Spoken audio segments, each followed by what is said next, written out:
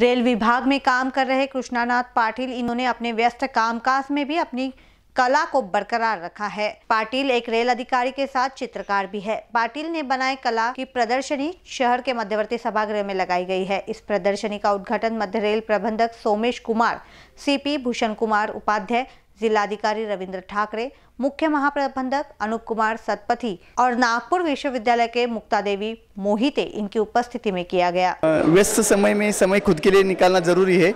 अधिकारी हो या कोई भी कॉमन मैन हो, आज बहुत ही जीने की जो दिन दिन भर की मर्रा रोज़मर्रा की ज़िंदगी रहती है, उसमें से खुद के लिए चंद, क्षण निकालना ज़रूरी है।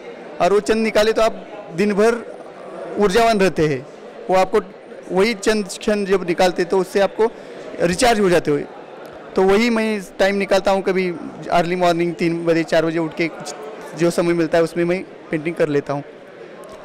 पेंटिंग चीज़ देखने की है, बोलने की चीज़ नहीं है। जैसे painting is a silent poetry तो आप सब लोग देखिए इसको और एक्सपीरियंस कीजिए जो आपको अच्छा लगता है।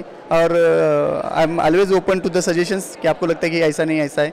इसमें चीज़ें बहुत सी फिगरेटिव है एब्स्ट्रैक्ट है। तो वही है कि फिगरेटिव जो चीज़ें रंग रेशा और कलर का जो है तो मेरा चार लाइन मैंने लिखी हुई है, उसके लिए रंग द्वार है, आशाओं का। रंग द्वार है, रंग अपरंपार। रंग सार है, रंग है संसार। रंग रेशा ही भगवान है। रंग रेशा ही भगवान है और उसका आकार वही निर्गुण है और वही निरंकार। तो निर्गुण निरंकार भगवान, सगुण साकार भगवान से निर्गुण निरंकार भगवान तक जाने का जो रास्ता है, रंग से ही जाता है।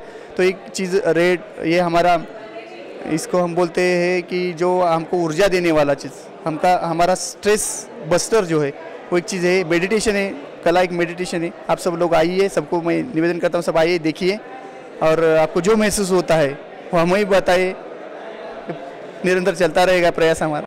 उपस्थित सभी मान्यवरों ने पाटिल इनकी कलाकृति देख उनकी प्रशंसा की। देखिए इसमें सबसे बड़ी खासियत ऐसी है कि कृष्णनाथ जी एक सीनियर ऑफिसर है रेलवे में। इसके बाद भी उन्होंने इतनी अच्छी पेंटिंग बनाई है, इसलिए उनको मैं बधाई देता हूँ।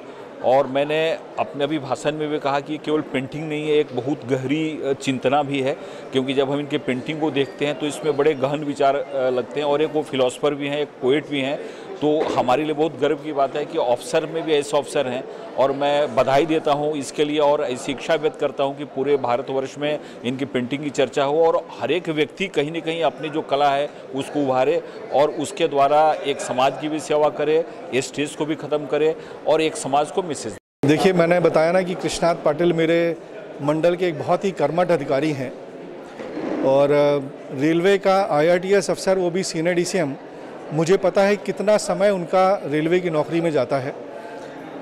पैसेंजर्स की expectations in fact commercial department हमारा रेलवे का फेस होता है। तो यात्रियों की अपेक्षाएँ, हम लोगों की खुद की अपेक्षाएँ, प्रशासन की अपेक्षाएँ कमर्शियल डिपार्टमेंट से बहुत ज़्यादा होती हैं। और सीनियर डी का कितना समय इन सरकारी कार्यों में निकलता है, इसका मुझे पूरा अंदाज है। उस समय के बावजूद कृष्णाथ पाटिल साहब ने जो एग्जीबिशन लगाई है, जो पेंटिंग यहाँ लगाई हैं उसको देख के एटलीस्ट मेरी समझ से परे है कि वो कब समय निकाल के इतनी अच्छी चीज़ें बनाते हैं। अभी उनसे मेरी बात हो रही थी, बोले, साहब, रात में तीन बजे, चार बजे उठ के मैं ये काम करता हूँ। इसमें कोई दो नहीं, मैं बिल्कुल एग्री करता हूँ कि उनको वही समय मिलता होगा, क्योंकि उनकी पेंटिंग में इतनी गहराई है, इतनी सोच है। ये कोई साधारण पेंटिंग्स नहीं है जो हम जैसा साधारण आदमी इसको बना सके। उसके पीछे उसका थॉट प्रोसेस उसकी सोच, ये वाकई बहुत कमेंडेबल है। और जो पाटिल साहब ने काम किया है, वो दर्शनीय है। मतलब नागपुर शहर के जितने कला प्रेमी हैं, उनके लिए तो ये अच्छा मौका है ही है। और मेरी ईश्वर से यही कामना है कि इनका ये टैलेंट हिंदुस्तान में फैले और दूसरे शहरों में लोग जाके देखें। और मेरी बड़ी कामना है कि ये तो इस तरह का टैलेंट है कि ये विदेशों में भी जाया जा सकता है। एक बार फिर से मैं पाटिल साहब को यहाँ पे बहुत धन्यवाद देता हूँ कि उन्होंने इतनी अच्छी अपनी जो आर्ट है, जो उनका टैलेंट है, उसको ज़िंदा रखा है। मुझे भी यहाँ आने का मौका दिया, इसकी वजह से मैं उनका बहुत धन्यवाद देता